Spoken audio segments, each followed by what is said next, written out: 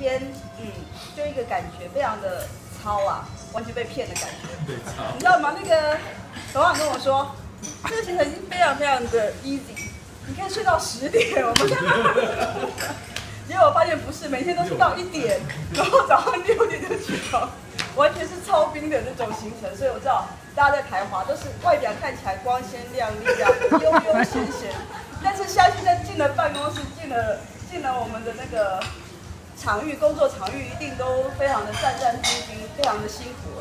从这种小细节就看出来，这老这这老板。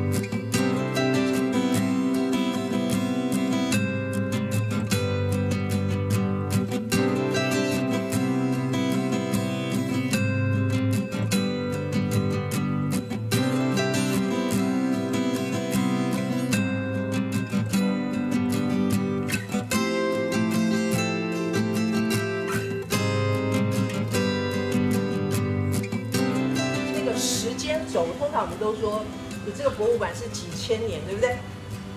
横向的轴是你的有多少类？比如说像故宫有陶瓷、书画，有这个篆刻、铜器这些，这分类。所以通常一个博物馆，时间轴跟横向轴决定了它的典藏品的气质。那今天这个博物馆，它只有一一一类，就是陶瓷，但它时间轴做的，我不晓得可不可以用盖钩秀，可以吗？非常好。今天因为没有机会跟大家讲，还有有一位现在不记得名字，一个收藏家，他可以把过去玩他是为了刻制做的，不管是别的订单，为了要赚取外汇做的，那就是我们自己的历史，通通把它买回来，变成我们的历史。那些作品证明了我们自己的发展。一座博物馆最棒的地方，就是本团最爱去的地方，叫做卖店。我们有一句话说，一座博物馆有多好，卖店就有多好。嗯，所以其实你看到他用心经营卖店，他的用心会放大成这整座博物馆很好。通常从左呃第一个主题换到第二个主题，不一定是主题的改变，有的时候是灯光的改变、地毯质感的改变，或者是时代的改变。这个可能也可以提醒一下你们欣赏。一座博物馆的制服，有的时候也挺可观的。我在美国的博物馆已经看到，在那个区域他会穿跟他相关的服装。在那一个区域，不管他是安全人员或导览人员，适时的提醒你，就是它也成为那一个展区的景之一。